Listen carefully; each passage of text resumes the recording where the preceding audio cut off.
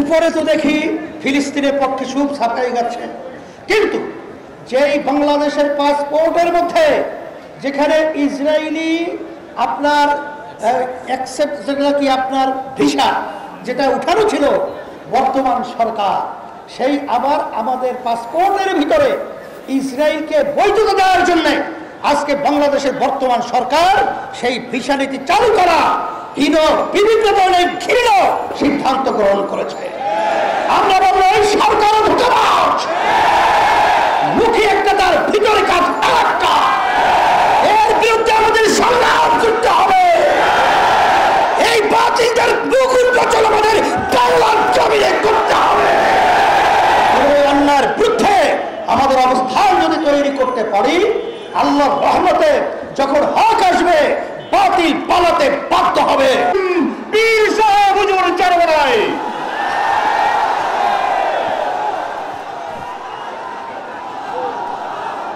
الحمد لله وكفى وسلام على عباده الذين اصطفى أما بعد فأعوذ بالله من الشيطان الرجيم بسم الله الرحمن الرحيم ومكروا ومكر الله والله خير الماكرين صدق الله العلي العظيم وقال رسول الله صلى الله عليه وسلم من رأى منكم منكرا فليغيره بيده فإن لم يستطع فبلسانه فإن لم يستطع فبقلبه وذلك أضعف الإيمان সবাই দুরূদ শরীফ পড়ি আল্লাহুম্মা সাল্লি আলা সাইয়্যিদিনা মুহাম্মাদ সাল্লাল্লাহু আলাইহি ওয়া আলা আলিহি ওয়া আসহাবিহি ওয়া বারাকা ওয়াসাল্লাম ইসলামী আন্দোলন বাংলাদেশ কেন্দ্রীয় কমিটি কর্তৃক আয়োজিত আজকের এই প্রতিবাদ সভায় আমরা উপস্থিত হতে পেরেছি সুক্রিয়া কানু বলি আলহামদুলিল্লাহ। কথা বেশি লম্বা না বলে সংক্ষেপ বলছি। ইসলামী আন্দোলন বাংলাদেশ প্রতিষ্ঠিত হয়েছে, ন্যায়কে প্রতিষ্ঠিত করা, অন্যায়কে ধ্বংস করা। ন্যায়ের পক্ষে অন্যায়ের প্রতিবাদে। আর আপনারা জানেন, ইসলামী আন্দোলন বাংলাদেশ প্রতিটা থেকে শুরু করে আল্লাহ রহমতে ন্যায়ের পক্ষে অন্যায়ের প্রতিবাদী, আলহামদুলিল্লাহ আমাদের সাধ্য শক্তি অনুযায়ী আমরা চেষ্টা করে যাচ্ছি। তারই একটা অংশ হিসাবে আল্লাহ রসুল সাল্লাহ আলহিহাসাল্লাম বলেছেন যে তাম দুনিয়ার মুসলমান কার জাসাদের ওয়াহে একটা শরীরের মতো। শরীরের যে কোনো জায়গায় আগা- আঘাতপ্রাপ্ত হলে, যেরকম সর্বত্র তার আঘাতের ব্যথাটা সরিয়ে পড়ে, আজকে ফিলিস্তিনের মধ্যে আমাদের মুসলমানদের উপরে আমার মাদের উপরে, আমার বোনদের উপরে, আমার মায়ের কুলের সন্তানটার উপরে যেভাবে নির্মমভাবে হত্যাযজ্ঞ, নির্যাতন পরিচালনা করা হচ্ছে, জালেমদের পক্ষ থেকে ইসরায়েল জালেম। আজকে আশ্চর্য সবচেয়ে বড় হলো যে আজকে আমেরিকা বিভিন্ন সময় বিভিন্ন ভালো ভালো মুখরোচক, বিভিন্ন স্লোগান, কথার মাধ্যমে শান্তি নেবে, মানবতার পক্ষে বিভিন্ন ধরনের বক্তব্য তারা সম্পূর্ণ ধোকাবাজি।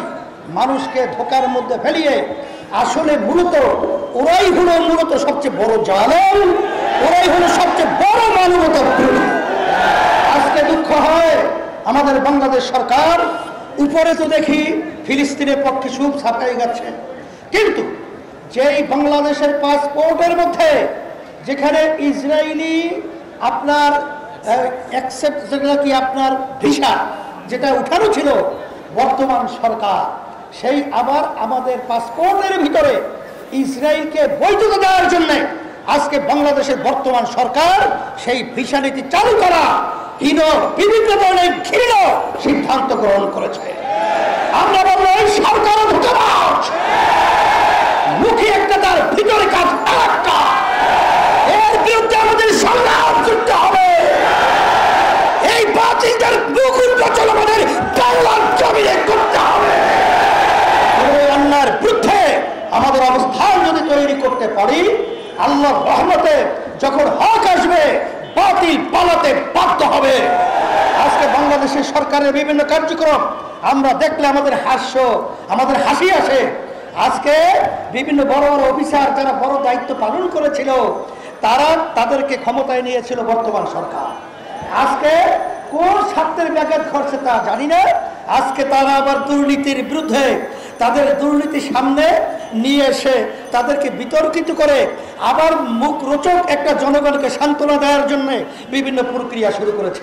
তা আপনি কি আগে জানতেন না যে যে আগেও দুর্নীতিবাজ সে ক্ষমতায় গেলে দুর্নীতি করবে, এটাই হলো সেই হিসাবে আজকে আমরা আমাদের ইমান রক্ষার জন্য আমার আজকে মাজদুম ভাইদের, আমার বোনদের, আমার বাচ্চাদের পক্ষে থাকার জন্য আজকে আমরা মাঠে তাদের পক্ষে এবং অন্যায়ের বিরুদ্ধে আজকে আমরা মিছিলে অংশগ্রহণ করব এবং সব সময় আমরা ন্যায়ের পক্ষে, অন্যায়ের পক্ষে বিরুদ্ধে অবস্থান তৈরি করব। এই এবং ইসরায়েলি পণ্য আমরা এটা বর্জন করব। এবং যারাই নাকি ইসলাম মুসলমানদের বিরুদ্ধে, মানবতার বিরুদ্ধে তাদের সকলের পণ্যই আমরা বর্জন করব এবং ওদেরকে আর্থিকভাবে আমরা সহযোগিতা করব না। এই আশাবাদ ব্যক্ত করছি। সকলকে ধন্যবাদ জানিয়ে সাংবাদিক বন্ধু সহ আজকে আমাদের মিছিলে সবসময় অংশগ্রহণ করার জন্য সকলকে উদাত্ত আহ্বান করে শেষ করছি। আল্লাহ হাসানা হাসানা আল্লাহ আপনি ইসরাইল ইসরাইল ওদের নসিব হেদায়েত থাকলে ওদেরকে হেদায়ত দেন নাহলে আপনি ওদেরকে ধ্বংস করে দেন। এবং ওদের যারা সহযোগিতা করতেছে, আল্লাহ ওদেরকে আপনি ধ্বংস করে দেন। এবং এই ফিলিস্তিনি মুসলমানদেরকে আপনি বিজয় দান করেন। আল্লাহ ভিন্ন মুসলমানদেরকে আপনি বিজয় দান করেন। এবং তাদেরকে আপনি হেফাজত করেন। তামাম দুনিয়া ইসলাম মুসলমানদেরকে আপনি হেফাজত করেন এবং তাদেরকে আপনি বিজয় দান করেন। আলহামদুলিল্লাহি খবরদার, ধৈর্যের ভাগ ভাগবো না। নিয়ম শৃঙ্খলা